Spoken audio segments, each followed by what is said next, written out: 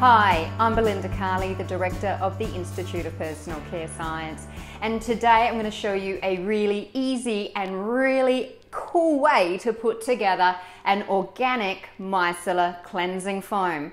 I'm also going to give you a couple of little tips of how to achieve that organic compliance ratio you need when making organic products.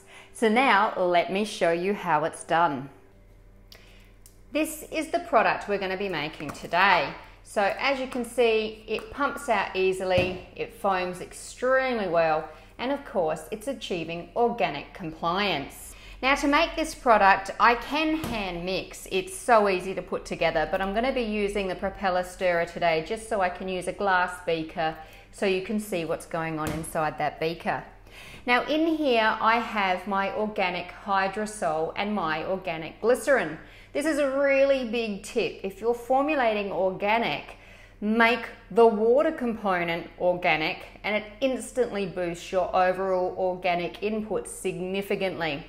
By using an organic hydrosol instead of water, I'm also providing a nice, mild, natural fragrance to the product without needing extra essential oils. So it's serving a couple of purposes by using the hydrosol instead of water here. Now in this particular formula, I have replaced all the water with a hydrosol.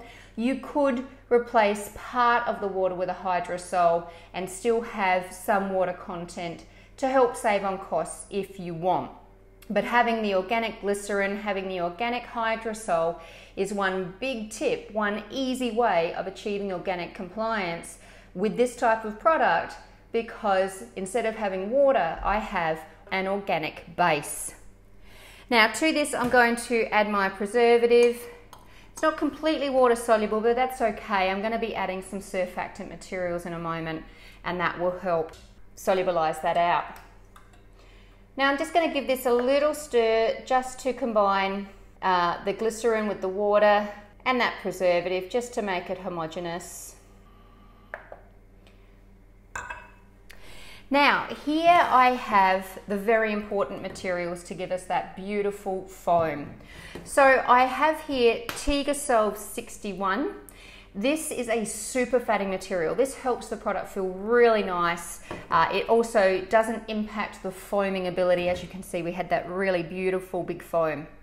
Here I have Symbiosolv Clear Plus. Now again, this is the Cosmos Suitable Solubilizing Material. This particular material solubilizes extremely well, which makes it good for cleaning. It's also very mild, but it also foams extremely well. And that's what we want from a micellar foam. We need that foam in there. And finally, I'm just adding a little bit of uh, plant oil here now the great thing about this uh, product, this formula I've put together for you, you can alter the plant oil. This actually serves no real benefit in the formula other than the marketing story. So you might include just a small plant oil, small input of plant oil, another plant oil of your choice. And we just need to solubilize that in the first step. You don't want too much plant oil because it has no benefit in the formula other than to say the product contains it. And over here in the water phase, of course, I've used the organic hydrosols, but you could add other organic water-soluble actives, other organic uh, water-soluble extracts, again, to make the product truly your own with your own unique product story. So I just combine the surfactant solubilizer materials and then add this to my water phase.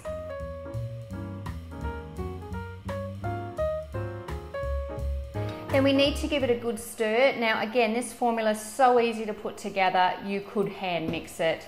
I'm just showing you in the glass beaker so you can see what's going on. On the day you make it, there will be some extra foam. As you could see, I've kept the propeller well below the surface of the product to minimize the amount of foam that's produced. We want that foam, but that means while mixing, we're also gonna produce foam if we break that surface and introduce a lot of air. So we want to minimize the amount of air that gets mixed into the product. Now we just need to check and adjust the pH.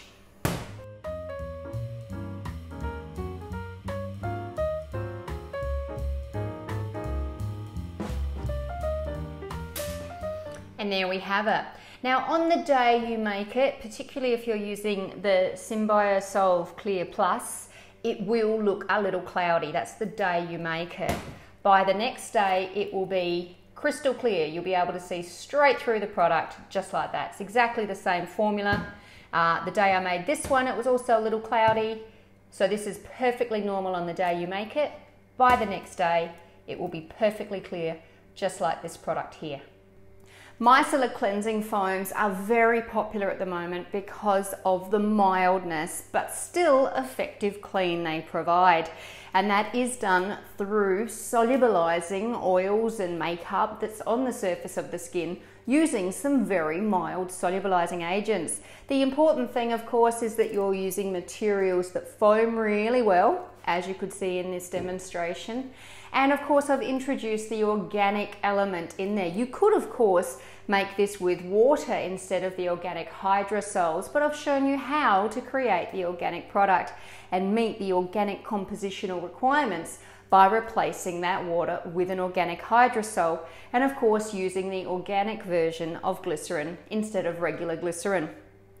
Please give this video a thumbs up. Please leave any questions or comments below. I was asked how do you make a micellar foam and that's why I've brought this video to you so let me know what else you'd like to see. Make sure you subscribe to receive notifications about all our videos. Happy formulating!